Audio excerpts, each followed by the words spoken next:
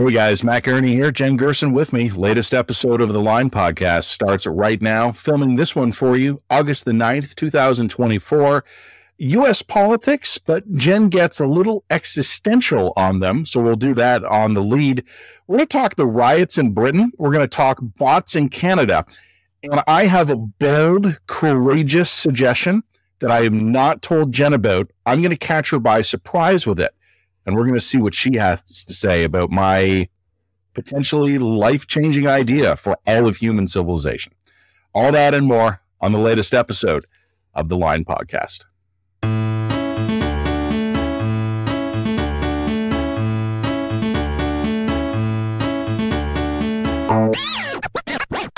Well, Jen, I love starting with um, serious stuff, lighter stuff. But unfortunately, this week I got to I got to start owning up to an error. Uh, last week, with apologies, I referred to a column written in the Globe and Mail in last week's podcast, and I referred to it as being written by Jeff Simpson.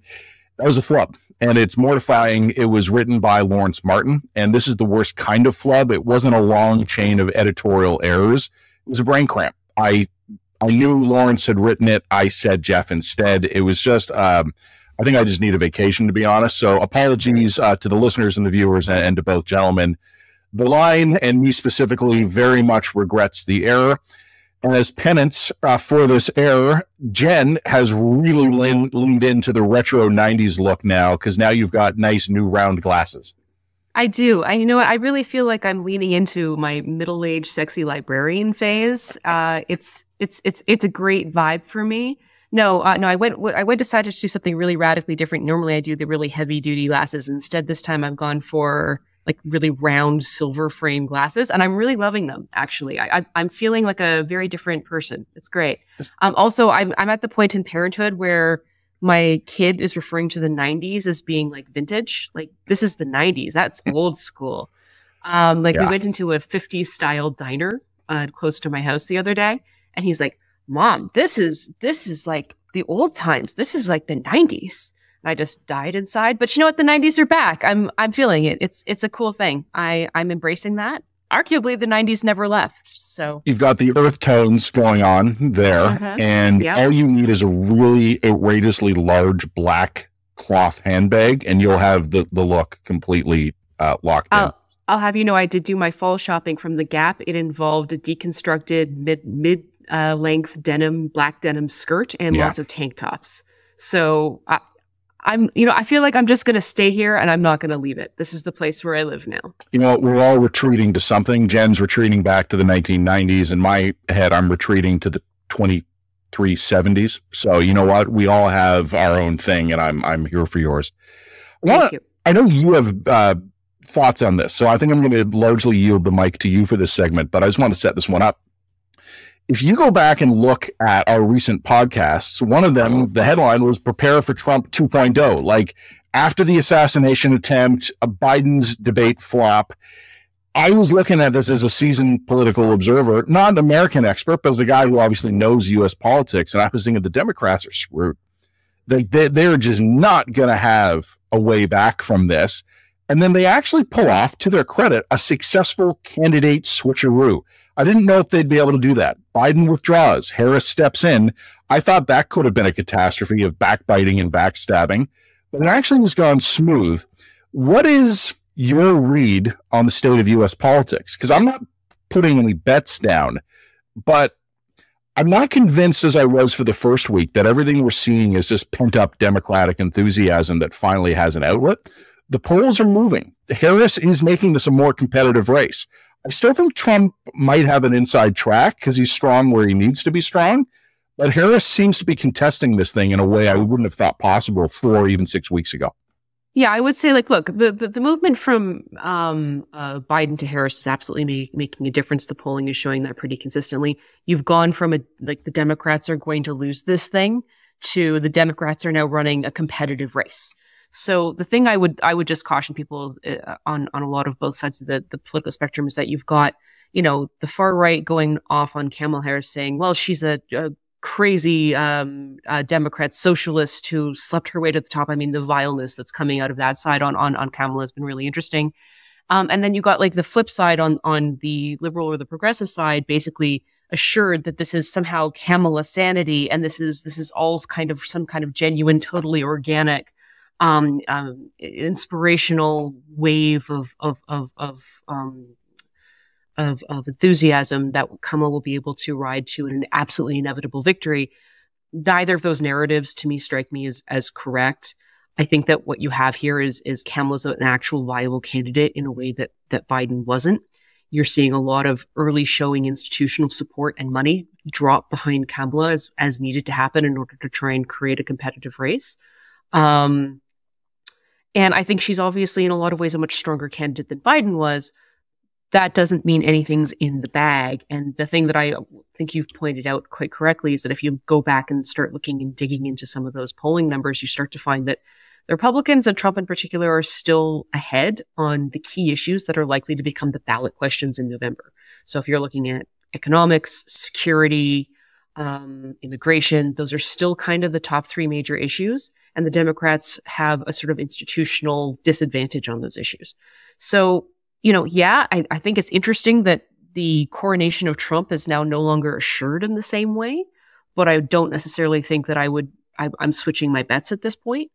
Um, the other interesting thing that happened, of course, this week is that uh, Kamala uh, appoints Tim Walz for the vice president, her, her, vice presidential pick.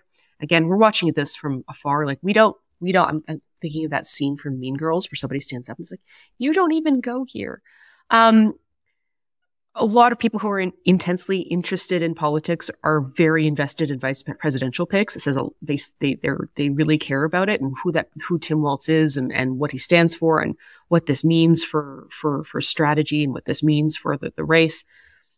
I would just remind normal people that vice presidential picks very rarely make any difference at all. They rarely very rarely matter. Um, Tim Walz is not a generally recognized name, and the campaign has you know, dozens of days really in order to try and build him up as a as a national figure. That's a really hard slog. It's a very expensive slog. So, you know, a lot of people are noting, well, Tim Walz is this like is a is a is a is a progressive progressives and you know, he'll he'll he'll um, uh, bring the progressives into the fore, or the real lefties into the fore. You know, some of the research I'm reading suggests that actually Walz is probably most um, popular among kind of older boomer liberals uh, rather than hard lefties.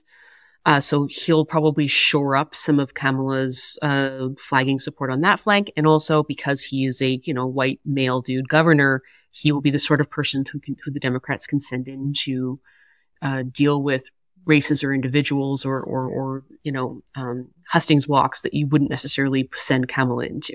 So it's it's an interesting choice, but my, but the overall take that I'm getting from researchers that I trust on this one is the vice presidential presidential pick says way more about how the campaigns see themselves than they did do about the overall race. And also the pick of both JD Vance and uh, Tim Walz respectively is suggests that, that neither of these sides thinks that it can persuade people over from one side of the fence to the other. This is all about mobilizing their internal bases to, to, to get out the vote. So that's interesting. Um, again, from a Canadian perspective, it's just something to watch. Uh, it does mean that I do think you're right. I think that the coronation vibes are, are, are definitely no longer the vibes. It's really interesting that the assassination attempt didn't get Trump and the Republicans as much um, in the news cycle as we thought they were going to. So that's maybe an error on our part. However, I do think that switching candidates in such a historic way did effectively change up the news cycle in a really dramatic and perhaps unprecedented way. So interesting. The reason why this stuff I, before, before we move on to the yeah, existential right. thing, I want to make two pragmatic points. Okay. First, one of the things I'm interested in, and one of the reasons I actually am probably a little more bearish on the Trump campaign than you are, like I'm not, I'm not betting the farm yet either. But one of the things, and I I view this as, and I think I'm going to put this weirdly, I view this as a as a hockey fan, as a sports fan. I'm a big believer in the vibe, the momentum hmm. of a game. Yeah.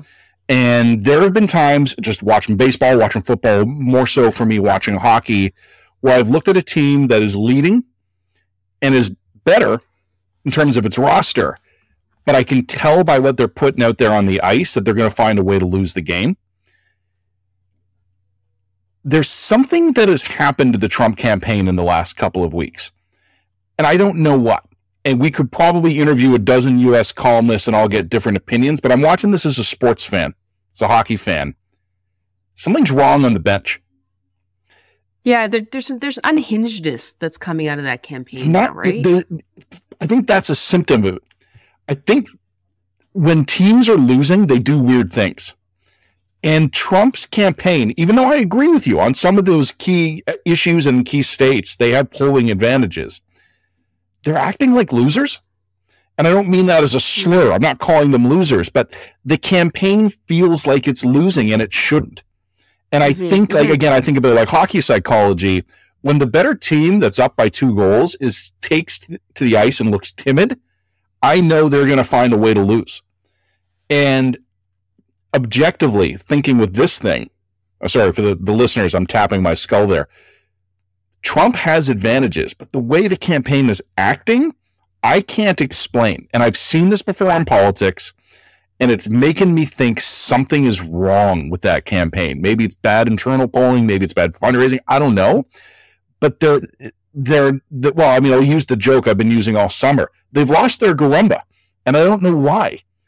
They they are not being effective at responding to the new circumstances. So maybe they get their shit together, right? Maybe they go away for a weekend, they have a big strategy meeting, they fire a couple advisors, they come back and they win.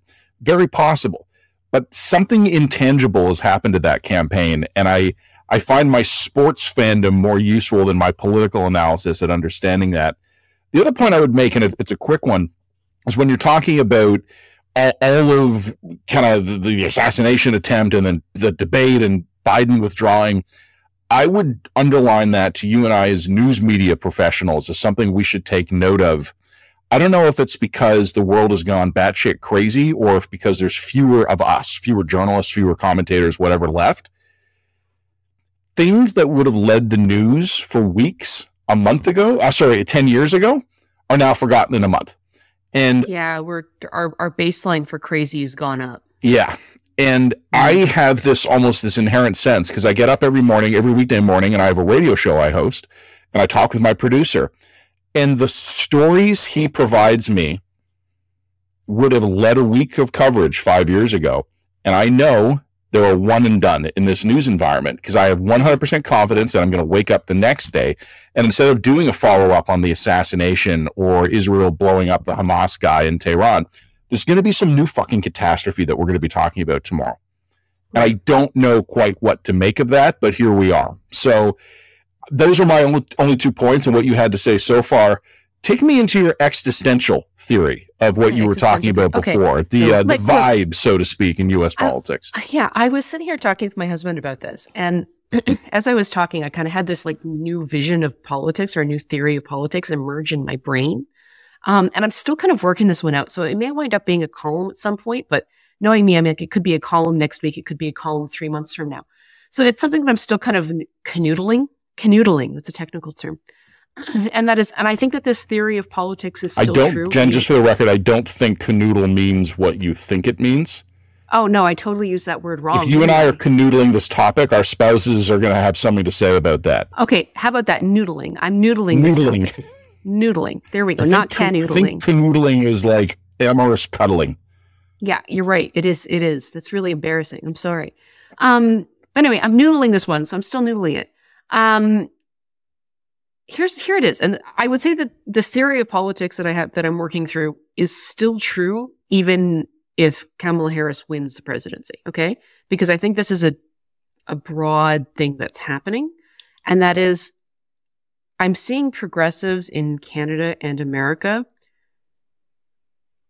try to respond to fundamentally spiritual problems with material solutions. So, a lot of the issues and a lot of the weirdness that's happening around politics has to go with generational change. Who are we as people? Um, what does a lower quality, lower standard of life living mean for us and our kids? Um, you know, how are we going to deal with the atomization of our societies? How do we deal with the super polarized environments that we're finding ourselves in? How are we dealing with loss of institutional trust, right? Like th- these really big, deep themes that were all existed prior to COVID, but were deeply catalyzed by COVID and are have now are starting to reach these interesting tipping points and these crisis points. I'm going to frame these as spiritual problems. And I'm not framing this, don't mean spiritual in the sense of religious. I mean that they go to to deep existential questions about who we are and what we're doing here as a society and what are questions of identity and purpose. Questions of identity, purpose, and narrative as a society, right? And what I see from a lot of liberals and progressives is here's your new lunch program. I know we'll we'll we'll fix your we'll we'll reduce your we'll forgive some of your student loans. We'll um what's the last one? Here's a new dental program. Yeah, you know, thirty billion dollars over ten years for new yeah, buses. Ten years. For, we'll create a new EV plant. Yeah. We'll we'll we'll create some localized uh, affordable housing. Right. It's an inability to grapple with the spiritual problem so it's a default to, well, I know we'll just throw a material answer at the spiritual problem that we're functioning with here. And it's an interesting problem, I think, because I think a lot of um, people who are on the liberal and progressive side have a tendency to be more secular, if not atheistic. And as a result, I think that they have a hard time grokking or intuitively understanding the nature of a spiritual problem. Whereas I think people, ironically, who are on the conservative side, who tend to, not exclusively, but tend to be more religious, if not spiritual, have a language for this. They have a they have a um, a way of of grappling with deep collective problems of meaning and identity in a way that people who are secular or atheistic fundamentally don't. Which is why I think that they are intuitively able to connect with the zeitgeist, with the vibe right now, in a way that I think liberals and progressives are kind of struggling and don't understand why they're struggling. That's my that's my emerging theory of what's happening in politics. I don't know if it's bullshit but I'm kind of noodling it as I, I think said. it's no, I don't. Um, I'm going to say something to you that might sound critical. I actually don't mean it as a criticism. I don't think your theory is bullshit. I think it's underdeveloped, but I think it's underdeveloped because a lot of us are realizing the same things and grappling with it, and none of us have quite figured it out yet. You, right. you've typically, and I, I know you, we're all on a spiritual journey, but you've typically identified yourself as an, as an atheist. I never have. I've always believed in God. I don't conform dogmatically to any organized religion, but yeah, I believe in in uh, God, and even so, I am very much a Vulcan. Uh, I am very rational, logically oriented. And one of the blind spots I have in understanding political and social forces are matters of identity, because I view the world very much for like, will this not, will this optimize my GDP per capita? You know, what will this mean for cash flow and service delivery? We, you know, will we get more widgets for the Navy if we do A instead of B? And then other people come along and are like, I feel like Canada has lost its soul. Right. And I look at them and I'm like, I don't understand you, you strange. I don't have a, I don't have a language yet for what you're talking about which is very, which is very. Now, personally, I would also say that I think I'm kind of a lapsed Catholic, which is, or sorry, a lapsed atheist. Maybe that was Freudian right there. Maybe I'm a lapsed atheist, so I, I'm, I'm kind of living living in a strange limbo state at this point on when it comes to spiritual matters. Um, I have a blind spot for people who are motivated by questions of identity. I don't yeah, understand and I, it, and I I have consistently undervalued it. So now, like a Vulcan, I'm trying to always go, okay, all that stuff you don't understand, double your weighting of it mentally when you try to process politics. And I find that helps. But I am very like, to, I am very much like a, a conservative from 20 years ago. I just want to like fix processes and I, matters of identity. Well, we're all Canadians. We're all in this together. That's the extent that I think about identity.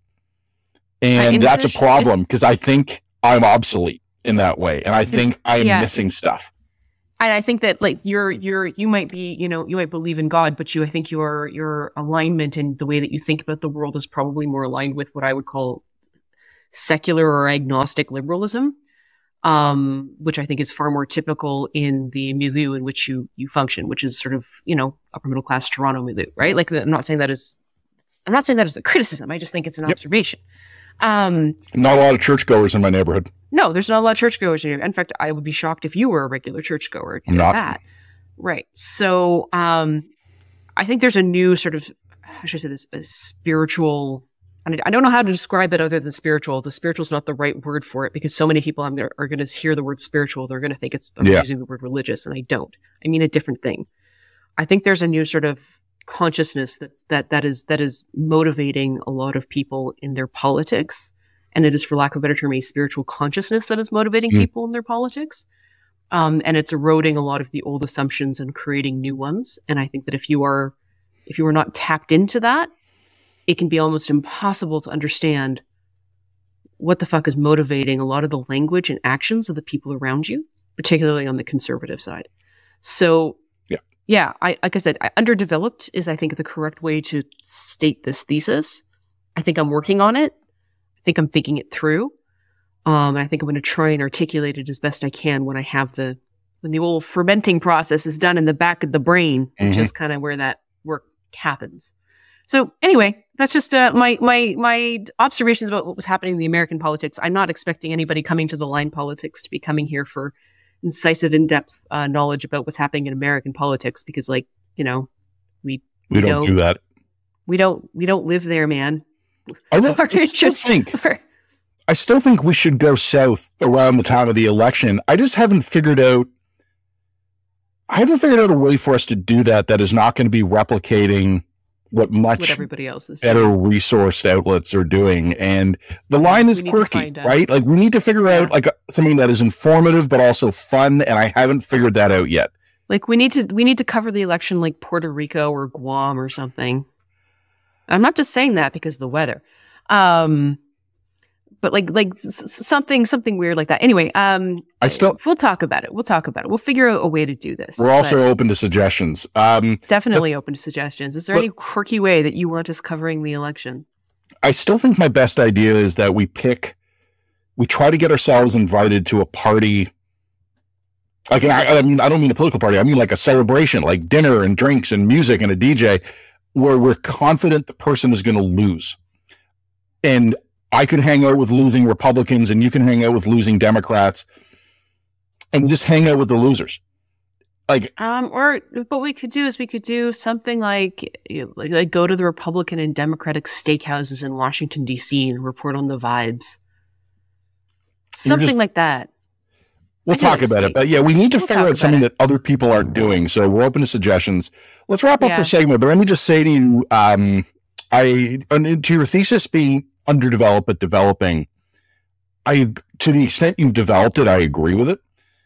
And I think I mean a great number of people, and I'm using liberal in the small L sense here. It's not a partisan comment, but like moderates, centrists, we'll, we'll call it liberals, moderate centrists, slightly you know, prog people, they're kind of like, oh, I'm so I'm socially liberal, but fiscally conservative. Like all of those people, or not all of them, but a lot of them one of the things I think is happening is that this identity tribal thing that you're talking about is happening and they don't understand it. And I think they have misdiagnosed it.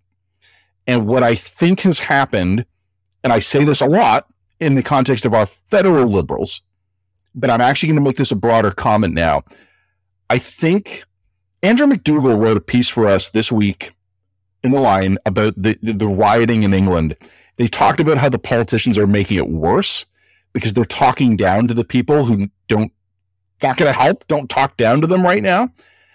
I think something culturally and societally is happening in the West and our democracies. And I think our moderate centrists see it and acknowledge it, but they don't understand it. So the answer they've settled on is like Twitter polarization or disinformation yeah. and things like that. Russian bots, the Twitter made them do it. And I think I think that is partially a flattering answer for them. We're actually great if people weren't so stupid as to buy what the Russians were telling them. I think yeah. that's part of it. I think, or, or, or every everybody who disagrees with me is stupid. Is a racist or stupid. Is a racist or they're stupid. If only they could see what's so obvious to me without understanding that that is in itself its own kind of blinders. You're, so I think self flattery is a problem. Yeah. And I also think some of it's stemming from genuine confusion.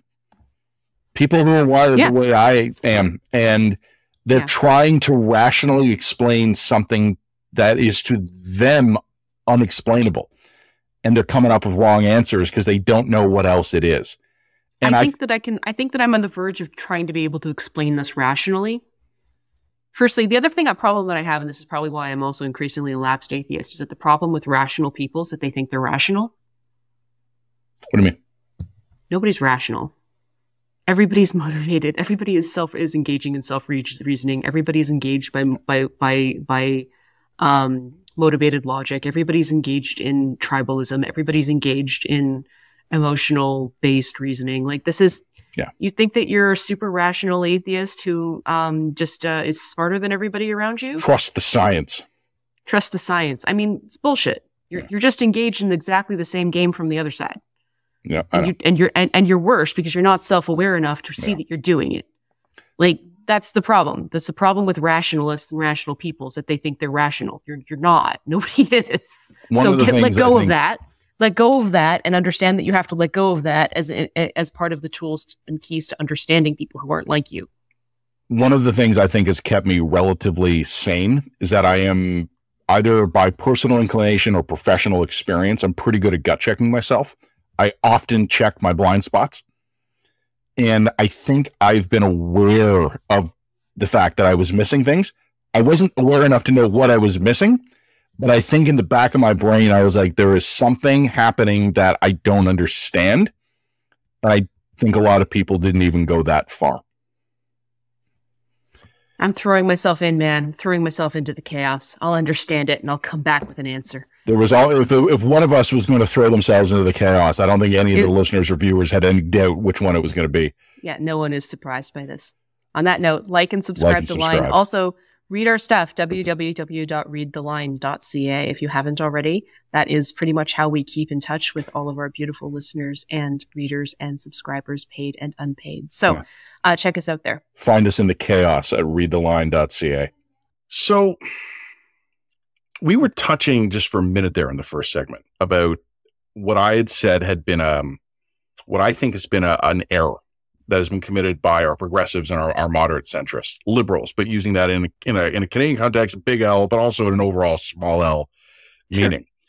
where there's been stuff going on societally that they don't understand, that they can perceive, but they can't grok, as you described it. And is a great word. I'm using that a lot lately. It's a good word. And since they don't grok it, they're trying to explain it, and they've done an all too human thing. They've settled on the easy, flattering explanation. And the easy, flattering explanation is that the people who are doing weird things that they don't understand and agree with are bigoted assholes, idiots, lunatics, conspiracy the theorists. The threat to democracy is imminent.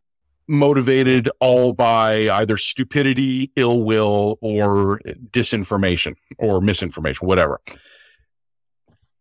I think some of that's true. I think it's not it's wrong. I just it's think not, it's being it's not, over. Yeah, no. Look, it's it's that's a part of it. That's there's yeah. there's there definitely look there are bad faith actors out there who are pumping people full of bull and idiots. Yeah. Who are out there pumping people full of bullshit, and the institutional trust has collapsed rightly in a lot of cases, but sometimes wrongly. But the institutional collapse is trusted has dissolved to such an, a, an extent that people are going to different sources of information to get their answers about what's happening to the world around them.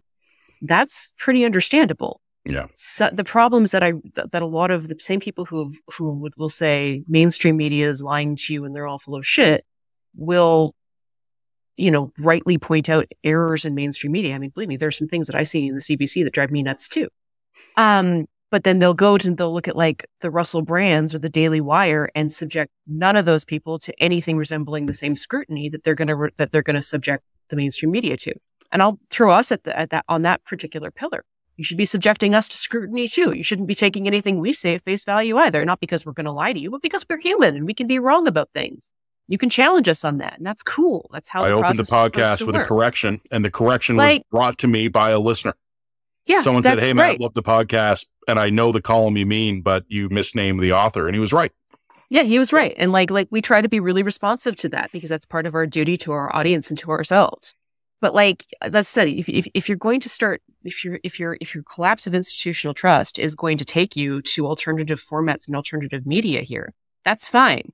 Just make sure that you're subjecting the alternative media to the same level of scrutiny and skepticism that you would subject the mainstream media to. You should you, sh- you shouldn't be turning your critical thinking blinders off because it's like, well, these people I can trust because they're not the X, right? And that's the thing, the, the error that I think a lot of people make on the left and the right I think the reason I bring this up, other than in the, in the context we were already talking about it, there's been a big story circulating on Canadians' political, uh, politically tinged social media this week, and it's starting to cross over into the mainstream media. Pierre Poilievre recently attended a conservative rally, and hundreds of Twitter accounts posted identical messages of support, mm-hmm. including Twitter accounts that are nominally in other countries. And someone observed correctly that that is some kind of coordinated social media campaign. And I've been, clumsy one, by the way. Pardon me? A very clumsy one, by yeah. the way. Well, I'm going to talk about that. So I don't know, and this is the thing. Let's let's break the fourth wall just for a minute. Jen and I yeah. are not partisan, but we are reasonably conservative people in our own politics. We we lean to the right and we're not partisan. We're actually almost anti-partisan, but I think people believe, I think unfairly, but I think they believe it that you and I go easy on conservatives and hard on liberals. And I mention that now because I'm about to say something that I know people are going to say is me going easy on conservatives. Mm-hmm. When I saw this story, I did not assume it was the conservatives doing this. And I think this is a broader comment, and I'm not saying this to whitewash the conservatives. I've made many the, the point many times before that I think the conservatives, like most modern political parties, are way too focused on social media. I think social mm-hmm. media is the tail that wags the dog. I think it has skewed priorities, strategies, everything. I think it's bad. I, I can tell you emphatically so that that is the case to a degree that is not healthy. Even so, I think if this was to be the conservatives doing this, they would do a better job. And the conservatives, for their part, as a party, have denied that they've done it. They've said, nope, we don't use bots. We deny this. We don't know who did this. It is possible that the Conservative Party is telling the truth, but maybe one of the various satellite advocacy groups that are nominally arm's length from the Conservatives, but are 100% conservative proxies, maybe they did it. But here's the thing, and I'm not trying to say this to give the conservatives cover. I'm trying to make a broader point. Maybe a liberal did it to embarrass the conservatives. Maybe an NDPer did it to embarrass the conservatives. Maybe the Russians did it. Maybe the Chinese did it. Maybe the Iranians did it. Maybe some loser did it for a grad school paper because getting a few hundred bots to simultaneously tweet a message is probably 50 euros paid to some bank account in Romania. Yeah, it's cheap and easy. It's totally accessible to do. And again, I know this will be seen as giving the conservatives cover, and I don't intend it that way. I'm trying to make a different point. You cannot take anything on social media at face value right now, particularly in the context of elections. And I think your point a couple of minutes ago, and I think you were you were exactly right about this. You made the point that there are people who will savage the CBC for a small error, but 100% accept what Russell Brand will say because they like what he's saying. Yep. There's so many people in this country right now who do the same thing. They will not apply any basic thought or scrutiny to a story that they want to be true. And a lot of people right now want to catch the conservatives in an embarrassing social media flop. Well, and also the bot thing is is perfect because that fits into a narrative, right? Like the, yeah. these guys are engaged with uh, nefarious social media tactics that explains why they're being so effective and why, the, why they're so ahead of polls. Like it, it fits right into a pre- preconceived narrative. The other thing I would just point out is like, look, um, coordinated social media responses and to a lesser extent bot attacks are now universally used.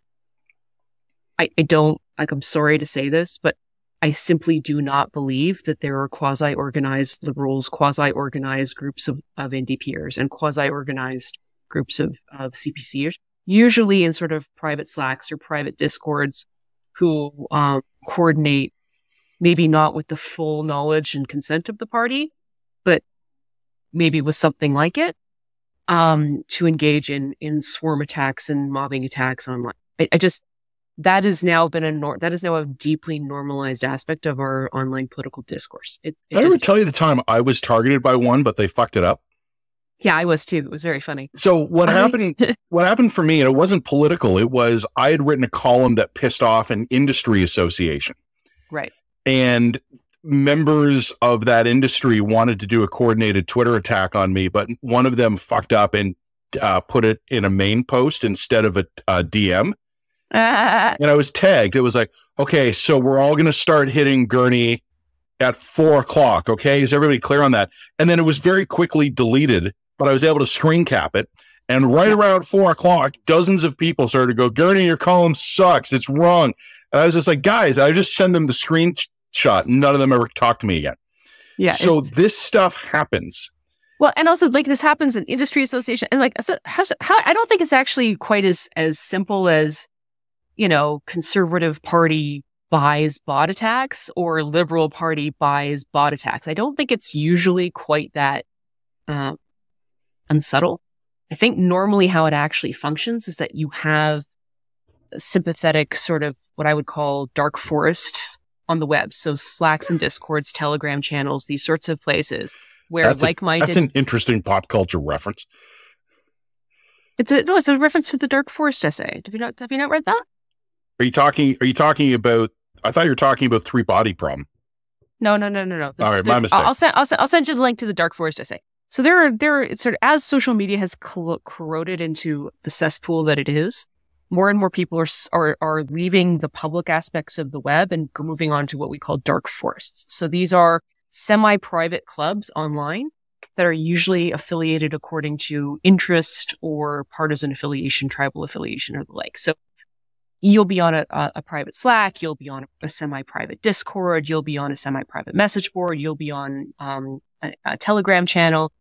Most actual communication that's happening now, I don't think is happening in public anymore. It's happening in on in dark forests because people know that they can't speak freely and candidly on Twitter, so they don't. Right? Like, there's just no point in doing that. And increasingly, the, the social media themselves are becoming dark forests as people start to self self sort out of the public aspect, the public domains. So if you're kind of conservative right, you're probably still on Twitter. If you're if you've gone to the left, you're on Threads or Truth Social or whatever of those No, monsters. I'm um, no, Blue Sky. whatever it is. Yeah, Blue Sky, whatever the f it is, I don't care. Um, and then you know if you want to be an influencer or you make shit, you go on Instagram I'd Or TikTok. TikTok, you know, like that sort of stuff, right? Like people are self selecting out of the, the public sphere and into these quasi public domains, right? Like that's a that's a phenomenon that's actually happening around us. So I think what happens here is that, you know, one person attracts the ire of of a particular partisan affiliation or or one of these dark webs, and maybe there are some official party members in some of these dark webs, but they're not necessarily explicitly coordinating this stuff.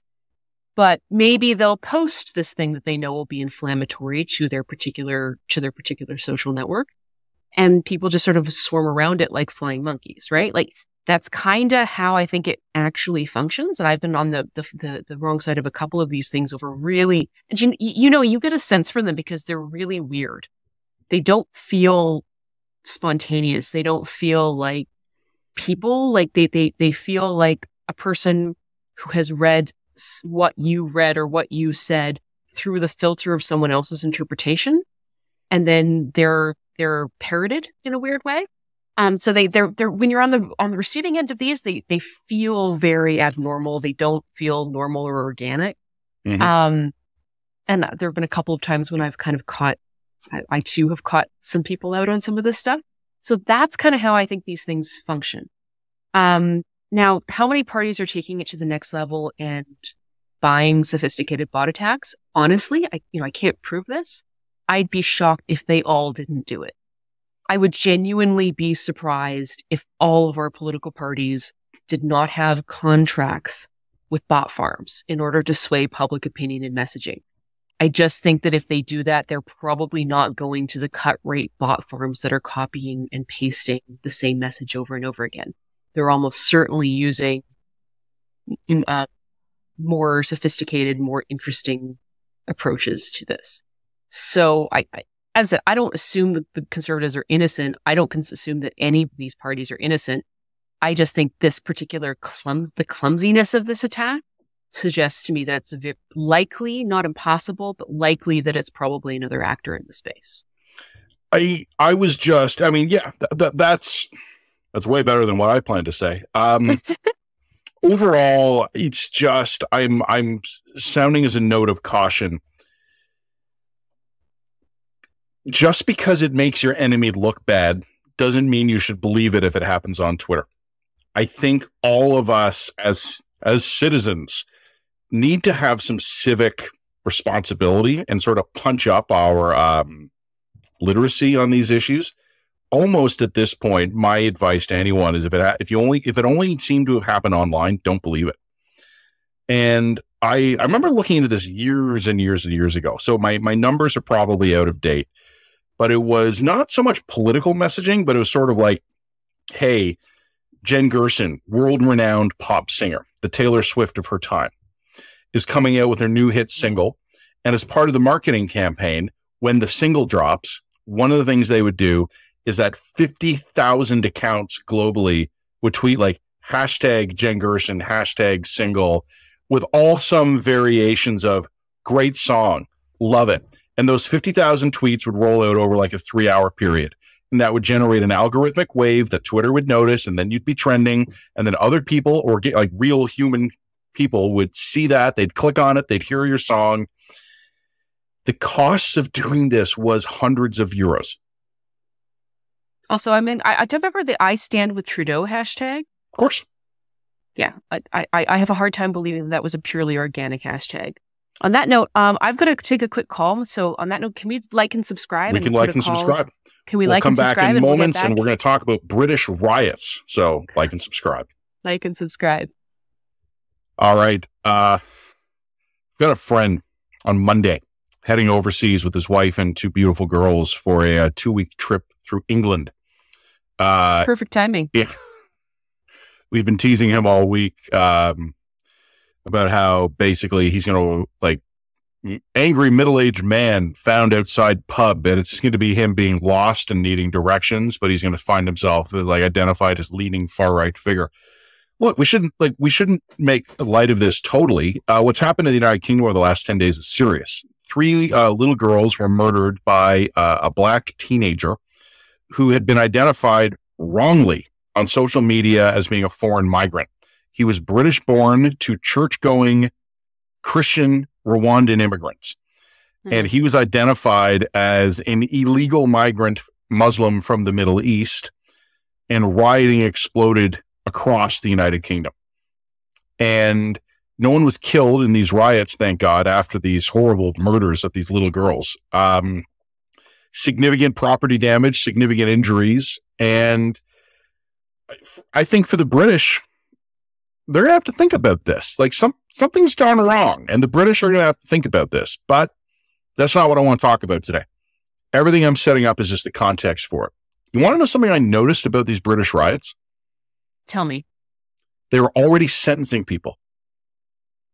Oh, wow. And a Canadian news story that might Huh. have crossed your desk in the last week or so is the Coots verdict, where of the four individuals who were charged after the Coots raid in the winter of 2022, two of them had accepted plea deals, pled down to lesser charges.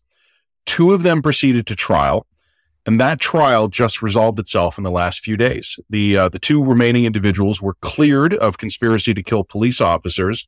They were convicted on all the lesser charges: possession of weapons, pipe bombs, firearms, things like that.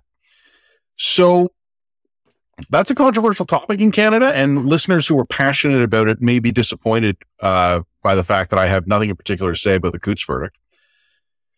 I don't know. Maybe it's something to mull over. Maybe we'll come up with something to say about it later.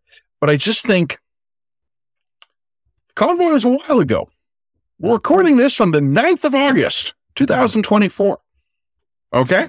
That means the Coots raid was 30 months ago. And that is the time it took us to get from the raid by the RCMP on Coots, or the, the border encampment near it, to a verdict.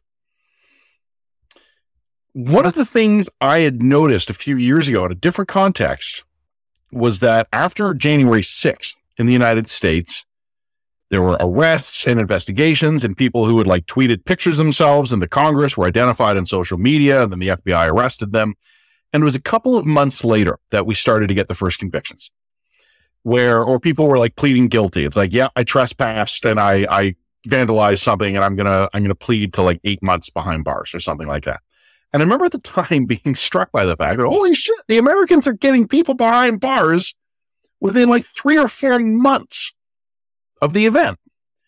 The British are sentencing people within days of the events. I'm not even convinced the riots are over yet. So again, we're recording this on a Friday. It's been the last couple of nights have been calm. That might mean it's over. It might mean it's a respite before the weekend. There's a lot of planned protests this weekend. We'll see what happens. Can you even imagine Canadian law enforcement and then courts getting someone behind bars within days or months? Well, let's let's, let's play devil's advocate. Let's take devil's advocate for a second here, okay? Because oftentimes, I mean, there's a there's a balance to be to be had here, because the I don't think anyone would dispute that Canada's uh, just criminal justice system is fatally and criminally, haha, uh, long-winded. Um, there is no reason, no good reason why it takes as long as it does to get a, a court case through the system. Um, and of course, we we we know that uh, justice delayed is justice denied, not only for the victims of crime, but also bluntly, it's also not fair for the criminals. Yeah.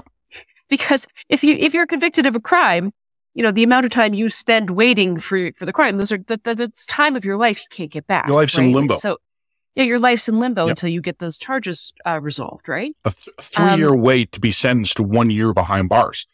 Well, in this case, so then you're then you're sentenced to one year behind bars plus time served, so you're free. Yep. Oh, okay, great. But guess what? You've lost three years of your life in order to to pay your one year to pay your one year's debt, right? Like that's not fair for the for the people who are, are engaged. To say nothing of um, how unfair that is to the people who are then later found innocent. Oh, okay. So you spent two, three, four, five years of your life waiting to be found not guilty on a crime or a charge. Like that's, that's bullshit for everyone. So there is something wrong here. The flip side to that is justice sped along is often justice that's bullshit. You know, like usually when people can uh, fast track someone through a court at that kind of speed, it's because they're cutting corners. They're cutting procedural corners or they're cutting evidentiary corners. So I, Eh, do we really want people hitting their sentencing within days of being arrested? It depends. I don't. It maybe I don't know, but does that mm. give that person an adequate amount of time to prepare a defense? Does that does that increase the probability that the uh, evidence in the case might be questionable or faulty? I I think that's an interesting question to ask as well. I think what the other thing that I think is different in the di- different when we're to- I'm not sure it's fair to compare a raid with a riot um, because in the case of a raid, you're talking about people who spent several days, if not weeks, collecting evidence, um, infiltrating the group, uh, you know, engaging in stings, engaging in all of these sorts of uh, intelligence gathering operations in order to be able to um, make those arrests. And then all of that evidence has to be challenged at trial. What about this was valid? What about this wasn't valid? Was this entrapment? All of that stuff has to be kind of be litigated. When you're dealing with riots, it's like caught Johnny over there busting a head. Well, that's that's the UK context that I think is, is relevant here, right? Because the yeah. UK is, is, is widely known as sort of like the haven of CCTV, closed circuit television. So, right, right. what's happening, and I think in a lot of these cases, and I, ha- I haven't been reading them exhaustively, but I think what's been happening a lot of them is that like come Monday morning, looted shop owner hands over his tapes to the yeah. police and there's Jim and Bill who didn't mask, just throwing petrol bombs through the window. And the cops are just immediately identifying these people, showing up and arresting them. And these guys are basically looking at the video of them hurling Molotovs, and it's plain as day them. And the British, in some cases, there was one case I read where the British didn't actually know who it was, but there was such comprehensive CCTV footage that they were able to track the guy from camera to camera walking from the crime scene home to where he slept it off. And they arrested right. him in the morning before he'd even sobered up. Yeah. So the, the British- I mean that's that's also kind of creepy and dystopian. So I don't know if I necessarily want to live in that society either. I you know fun. what I I don't either. I, I'll agree with you on that. But can we come up with a happy medium where Because one of the things I find incredible is like a conversation we have. Um, the liberals are actually making progress on this. They have been appointing federal judges, and they they were kind of erasing the backlog they had bizarrely allowed to become as large as it did. Um, so we are getting the court system back on track. But one thing I just find remarkable about the the Supreme Court ruling that was resulting in these cases being thrown out is how we decided that 30 months was the red line for a major criminal trial in Canada. That if it went beyond 30 months, then the cases must be dismissed. That's kind of one of those things you kind of nod. Oh, okay, well, that's the ruling, and we plan around it. But then I'm just asking everybody, just pause, record scratch, you know, take a minute. How the fuck did we decide that 30 months was, or pardon me, 29 and a half months was a reasonable period of time to be un, like have no verdict on a serious criminal matter? It's some of these. I mean, actual like child abusers have gotten off on this rule.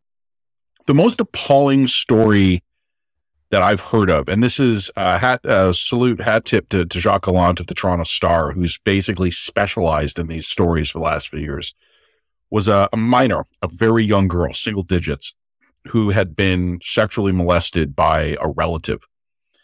And the relative in the commission of the sexual abuse had taken video and film and had used the video and film of the sexual abuse of the child to then further extort more sex from the child perform sex acts or I'll release these videos. The evidence existed. The police had it. He had documented the abuse. You're not going to get much better evidence than that at a trial. But it passed 30 months and this guy goes free. So the guy sexually molests a member of his own family, documents it, and walks free because we couldn't get our act together in 30 months. And again, I, I'm asking Canadians not just to be outraged that that happened. I'm asking Canadians to take a minute and think that if that individual had molested his young single digit age relative and produced child per sorry, we, we get killed in the algorithms when we say that, and had produced video and photo evidence of the crime.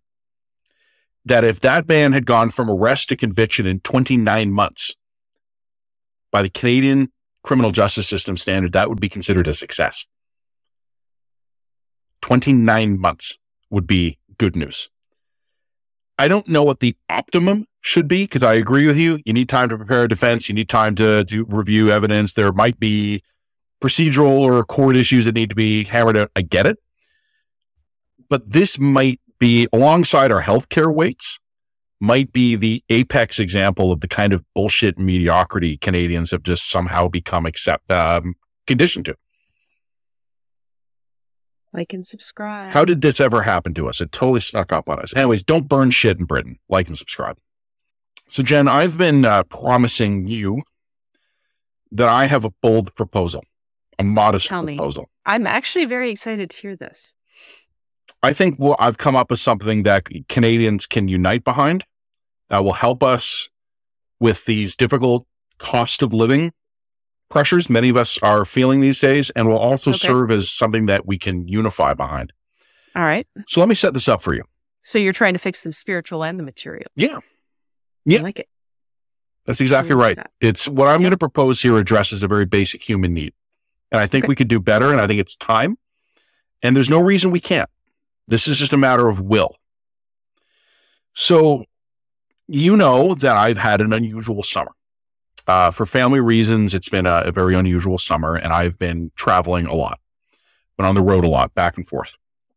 And I was at my home in Toronto this week, and I was feeling a little bit peckish. Uh, it was getting later on at night. It wasn't time for a full heavy meal, but I was watching some TV, and I wanted a little snack. And what I discovered was because I've barely been at, in Toronto for the last month, was that I had a bunch of bo- uh, open bags of chips or boxes of crackers, and they'd all gone stale. Mm-hmm. Okay. There was one exception. All right.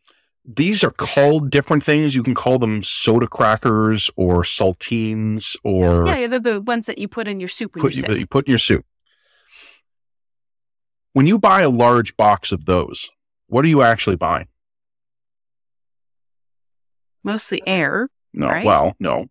You were buying four individually packaged Oh yeah, okay. containers of crackers. right. Right. So they they stay fresh if you open up one. So you can open up one, eat them all, or eat 2 of Mhm. them, and then wait a month. And you come back and you still are guaranteed 75% freshness Yes. in your Okay. snackable. Yes, the saltine is a brilliant thing. I am here to propose that we make that a standard arrangement for all snacks, where we go to larger overall portions of boxes of cookies. Cookies aren't really my thing. I'm not a sweets guy. I'm a chips or crackers guy. I like salt. Bigger containers, smaller individually packaged portions inside of it. So, for instance, just to compare two cracker based snacking options the saltines versus the Triscuit. Okay. They're both squares. They both got a little nice little hint of salt, and they're both good with uh, some dip or pate or maybe just a little cheese on top. All right. If you open your your saltines or your your soda crackers and you have two, you can come back in a month and you still have preserved 75% of your cracker integrity. You have optimized your snacking dollar. If you open a box of Triscuit and you eat two and you come back in a month, you've got stale Triscuits. I am asking Canadians to rally behind me on this. Matt, Larger boxes of Triscuits, four individually packaged rows of Triscuits. Matt, It's time for us to stop putting up with mediocrity. We can do better. Matt. Yes. How much grocery shopping do you do at Costco, my friend? The staples. But Because I don't think that you're the first one who's figured out that people really like individual packaging. Yes, but not for crackers. If you go to Costco, you would get two normal sized bags of Triscuits. You would not get double the Triscuits divided into four containers. I just I hate this idea. And the reason why I hate this idea is because it's radically improving product packaging, which is already out of out of control. Why don't you just take your crackers, put them in an airtight container? Doesn't work. You don't think I've tried that, Jen? No, I don't think you. You don't think I've tried that? right? No, I don't think you. You need to go. I've to even got one of the little pump to pull the air out of it. Doesn't work. Yeah, and they work. Yes, they they do. They it, it, it can't go stale in an airtight container. It buys you time, but minutes only. Not minutes. That's a I mean, Titanic that's- reference. Okay, but The pumps buy you how much time. but how much minutes how much time do you think the individual wrapping of the crackers is buying you? I'm. Uh, you know what? I don't It's know. not buying haven't you a tested different- this, but months. Okay, I think that you need a better airtight seal container. I'm going to highly suggest that you go to Goodwill or Value Village, get something with a proper rubber container and the double double thing. It can't go stale in an airtight container. I don't have time for that, Jen. I need a snack based revolution. I just think that this is this is this, it's very rare that you're going to see me get on side for the liberal with the liberal policy on anything, but you are why the single plastics ban is, exists, and they're right on this one. All I am saying They're is right. instead of a bag of Triscuits where Triscuits are just haphazardly thrown into them, we Yeah. just change things up. We stack them, we bag them. Because I agree with you, the packaging would be more and the, the package would be larger. But I think you would get longer service out of that Triscuit purchase.